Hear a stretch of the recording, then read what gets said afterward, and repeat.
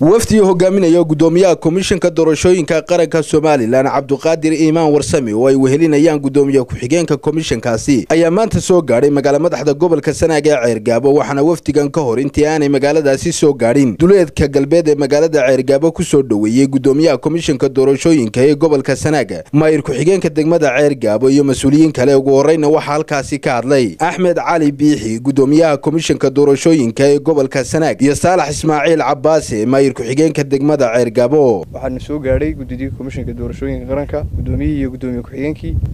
Oo gobolka sanaag soo gaadhay in badanna aanu sugaynay. Aad baan u soo dhaweynayna waxaan leenahay gobolku waa gobolkiinii ku soo dhowaada. Waxaan leeyahay reer sanaag goobii waanu soo wada marnay wacyigelinna waa qabtaan. Marka laynoo yimaado un yaynaan gebgablaynayne dee aan guntiga dhiisas kaga dhigno haddii laynaga badiyey kaadh qaadashadii oo magaranaysa codkii laynaga batay yaan laynaga qaadanin laynaga badin inaynu kaadhka maogtahay aan si fiican u qaadano. Waxaa maanta aynu nasiib u yeelannay inayna soo gaadhaan guddoomiyihii guddiga komishinka qaranka iyo guddoomiye ku-xigeenkiisii iyo wafdi la socda.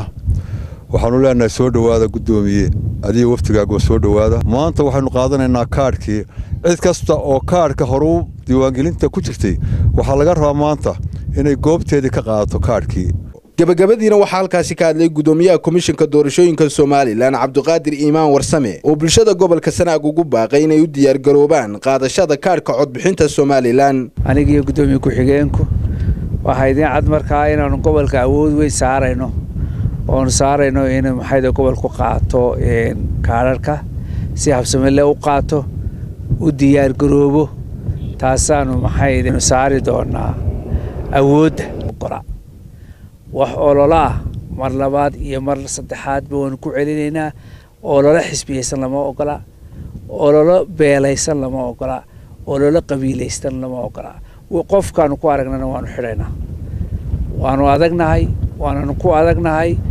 Waxaanu idin leenahay waa laydiin fasixi doonaa ololihii biliya bar baa idinka hadhsan ololihii marka fardaa waa la sii dayn doonaa.